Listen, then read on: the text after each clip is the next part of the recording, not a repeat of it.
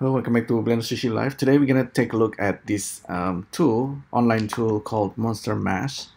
Basically, like kind of like a 3D modeling tool that allows you to draw and sketch like a monster or whatever creatures you want to create very very quickly, and it's gonna create some kind of like a balloon result. Um, uh, if you go through their tutorial once, uh, you will understand uh, the process. Like you can see here um, you can actually draw legs and it's gonna mirror the legs for you. I'm just gonna do like a quick example demo and how you can bring this into blender. Um, or you could animate this inside monster mash but uh, we're gonna do it inside blender. So yeah let's try. So let's draw some kind of monster uh, can create a random shapes. This is the base. And we can create like legs or arms or maybe eyeballs. So I'm trying to make something here. So I'm kind of wondering if this actually gonna be the legs behind it. So I have to try this and see how it how it works once you have this kind of weird looking design um, you can inflate. So once it's inflated it's almost like a blender inflate um, and it's, it's actually smart enough to kind of generate limbs arms out of your sketches. And then you can animate it. Um, okay so this is actually 3D in a way yeah and then you can yeah let's try animate. You can place like dots to represent the joints and then you can start animating by clicking on this record playback and animate. So it's a uh, very very interesting. Oh yeah sometimes uh, yeah when it's overlapping it, it generates this separate parts and I don't quite like that but that's okay. For us because we are using blender we can actually export out uh, the template projects for texturing but we don't need to worry about that either. We just gonna export the obj of this so you can, you can save this or just leave it. So let's quickly open up Blender. I'm using Blender 2.93 but you can also use 2.92 doesn't matter.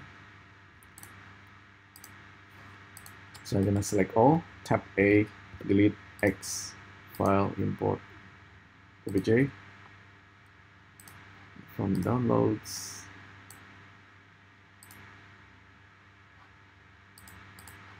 yeah I think we have our character. So there's like uh, separate limbs etc but they're kind of close together and you can actually just remax them. But because they are separate you can also give like a different material if you like. For example here. So let's save this very quickly. File save as monster mash I go to edit mode.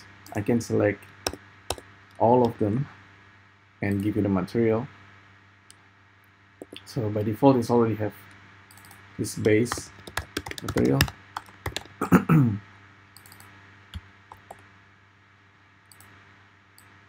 Give it a color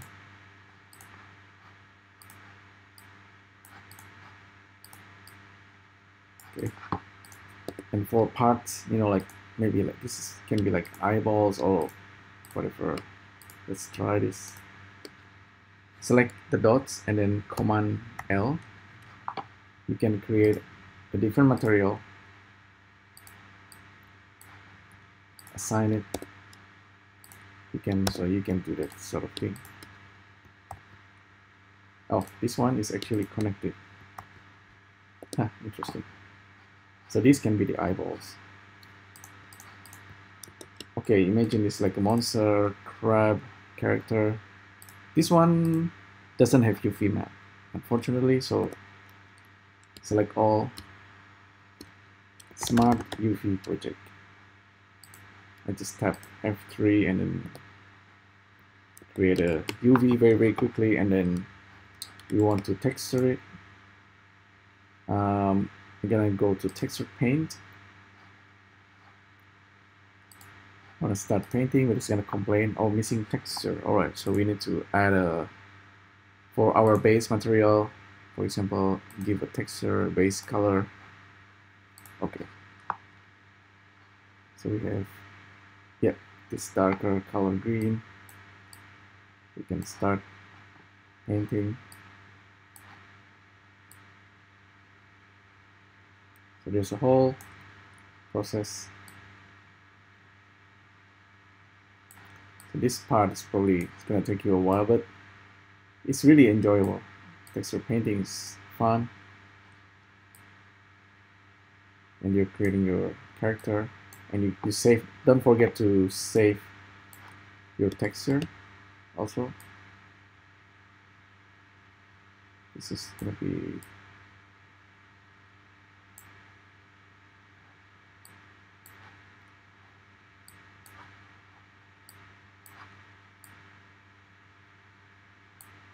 really quick design. The point is uh, just really to have fun creating your monster character. Uh, remember this is also 3D, so don't forget to paint the back of your character. Oh, this one.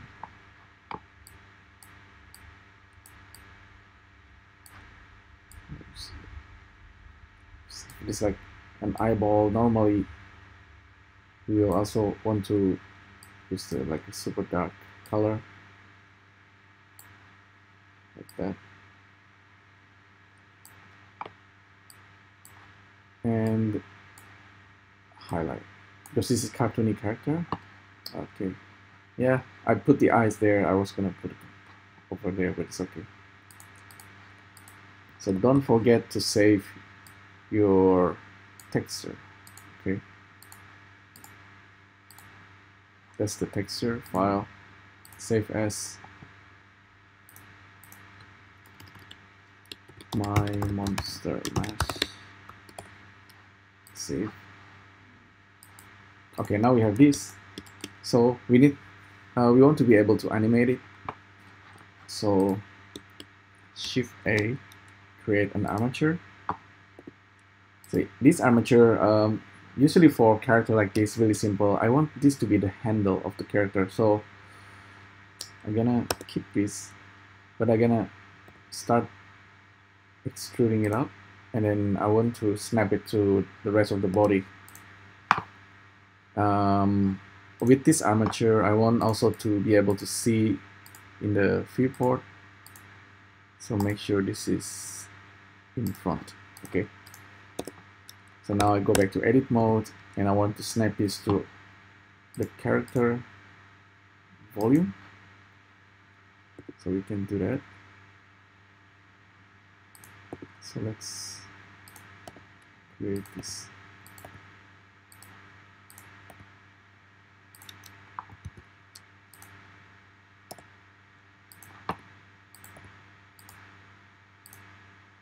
So I'm simply extruding character. This character has a lot of limbs and parts, which is can be too much for animators. But in our case, it's probably okay because we are using Blender and this is just a simple character. Okay, it's getting difficult to select. Maybe I will turn this into stick.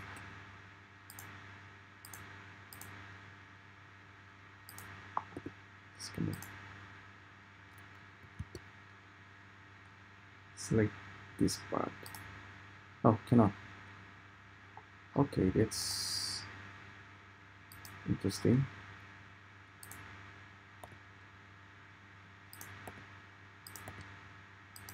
There.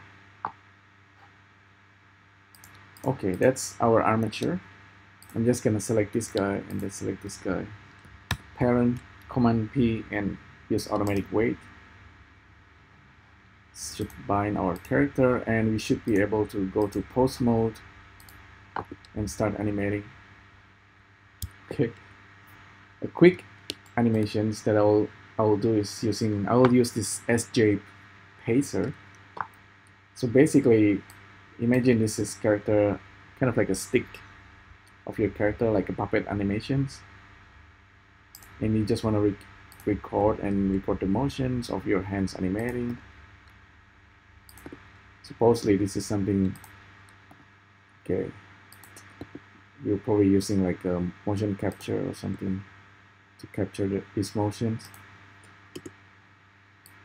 Yeah, I think I, yeah, I have an animations now. Just 150 frames.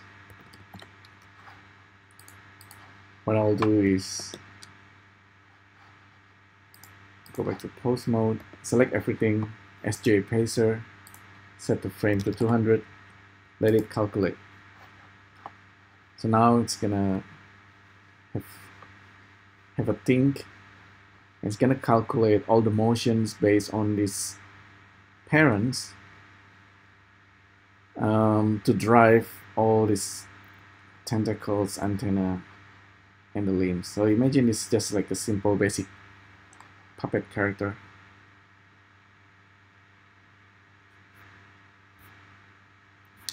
Ideally, if we can just export the animations from Monster Mash into Blender, it will be nice. Let's save this save project.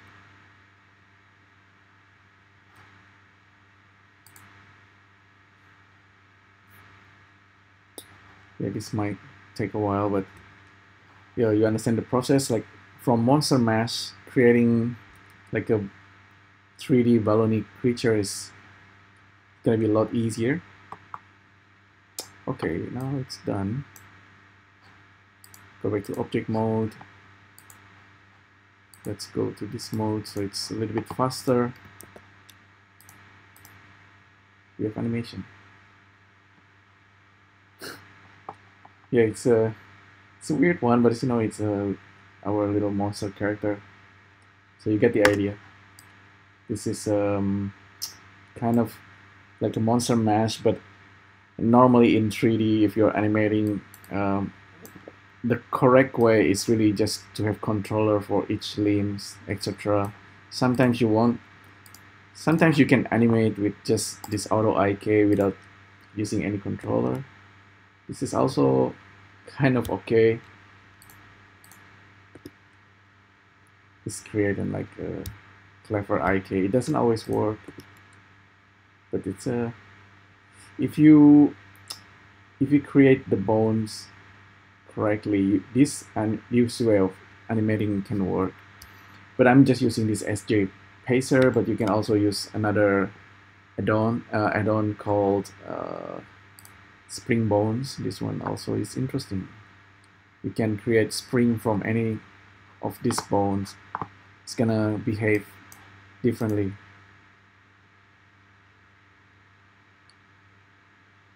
So this is H SJ Pacer, right? We, have, we already have animations for all the limbs, etc.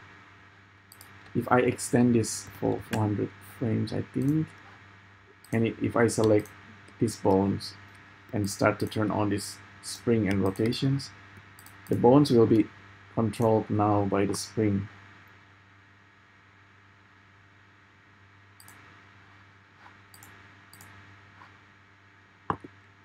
So you can see if I turn off auto IK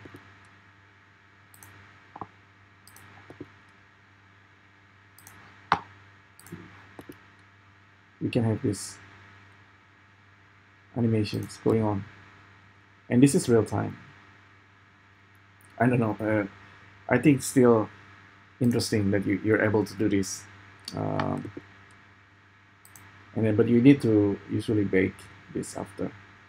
So this is also another way uh, you can animate on top of this